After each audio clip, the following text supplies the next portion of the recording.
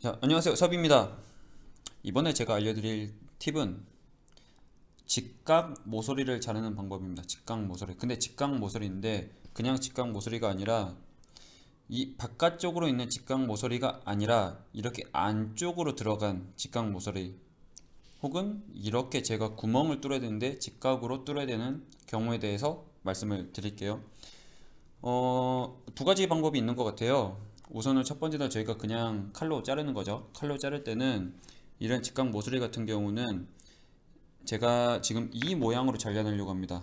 이렇게 각진 모양이죠. 이 모양으로 잘라내려고 하는데 이런 경우는 어떻게 하시는 게 조금 더 좋으시냐면 제가 이 부분을 자른다고 생각을 해볼게요. 이 부분. 이 부분을 이렇게 당겨서 안쪽으로 들어가는 방향으로 자르면 칼집이 당연히 안으로 들어갑니다.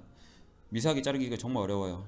그래서 이거는 안쪽으로 이렇게 당기면서 자르는 게 아니라 바깥쪽으로 당기면서 자르셔야 돼요. 이 모서리 끝에서 딱 맞춰서 눌러서 대고 천천히 해서 잘라내고 여기도 딱 끝에 딱 맞춰서 이렇게 해서 잘라내시는 거죠. 이런 식으로 이제 잘라내실 수가 있겠죠. 이렇게 하시는 것도 있고 지금 이런 작은 모서리 지금 이거는 제가 이 모양으로 구멍을 내려고 하는 거죠. 이 가죽에 이 모양으로 구멍을 내려고 할 때도 마찬가지로 조금씩 당기면서 잘라야 합니다. 근데 이렇게 안쪽에 있는 구멍이 작으면 작을수록 조금 더 어려워요. 이 칼로 하기에도 심지어 이 칼도 그런데 당연히 두꺼운 커터칼 같은 경우는 더 어렵겠죠. 그래서 제가 이제 한 가지 팁을 드릴게요. 자, 제가 제가 쓰는 재단판 위로 옮겼는데 알려드릴 방법은 이겁니다. 이거 이게 뭔지 아시겠죠? 철형이라고 하죠. 철형.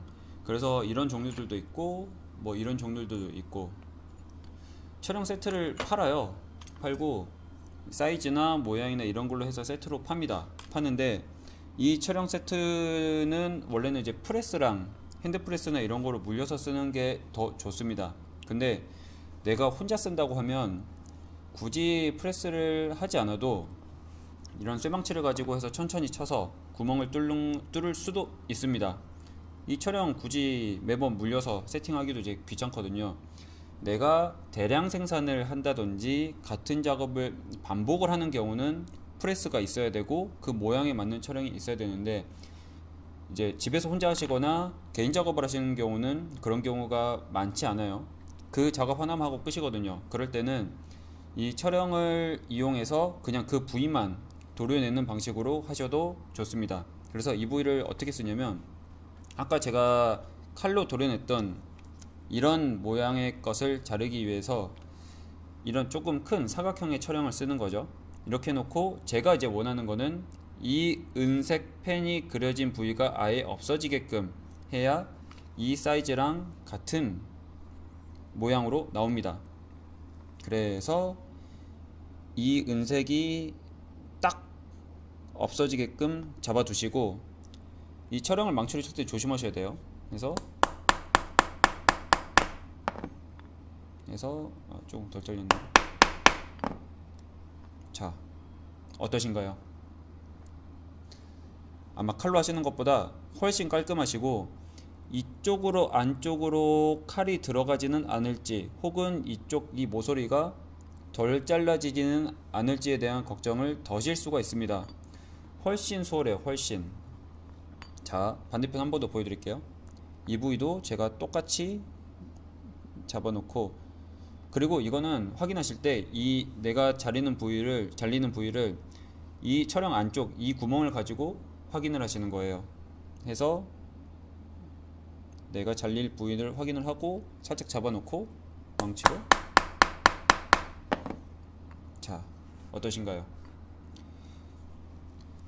이렇게 활용을 하시면 좋습니다.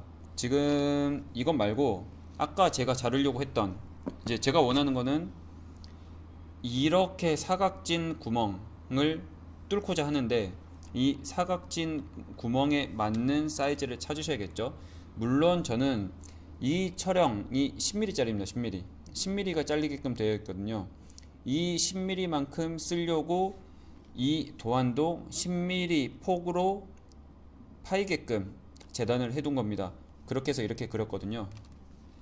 이것도 똑같이 합니다. 똑같이 하시는데 그리고 기왕이면 어떻게 하시는 게 좋냐면 이 촬영을 보면 결국에는 이음새가 하나 있습니다. 이음새. 이 이음새 끝은 살짝 벌어져 있기 때문에 완전히 잘라지지 않는 경우들이 있어요. 그래서 이 이음새가 이렇게 들어가면 이 바깥쪽에서 덜 잘라지겠죠. 근데 이 안쪽은 어차피 제가 이렇게 칼로 도려낼 거라서 이 이음새가 이 안쪽으로 들어가게끔 잡아주시면 좋습니다. 해서 이렇게 해서